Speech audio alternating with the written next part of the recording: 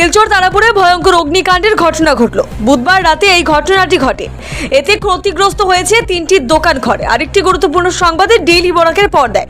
শিলচর তারাপুরে ভয়াবহ অগ্নিকাণ্ড সংঘটিত হলো। এতে ক্ষতিগ্রস্ত হয়েছে তিনটি দোকান ঘর। বুধবার গভীর রাতে শিলচর তারাপুরের দ্বিতীয় রেল গেটের সামনে এই অগ্নিকাণ্ডের ঘটনাটি ঘটে। জানা যায় যে, একটি দোকান থেকে আগুনের সূত্রপাত।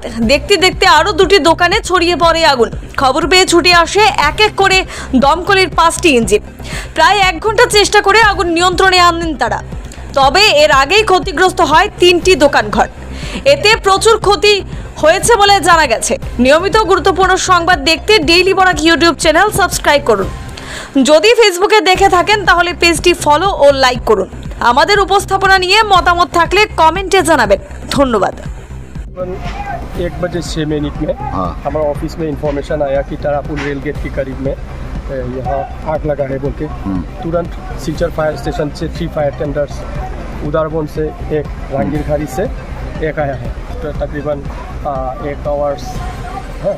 लगने के बाद फायर फाइटिंग करने के बाद काबू में आया पूरा निप गया है। ऐसा तो डंपिंग ये है मान लो कि टीन या ये जो वास्टेज रहता है प्लास्टिक बोटल्स वगैरह सीमेंट का जो एक दुकान भी है और आजू बाजू में घर भी है। और कवारी का दुकान है टूटा फूटा सामान। जल के रखो। लगभग लाख डेढ़ लाख वैसे होगा। लगभग लाख लाख अनुमान वो तो मालूम नहीं हम तो सजा हुआ था। हाँ। आगे दौड़ के आया आगे ऐसा हो गया।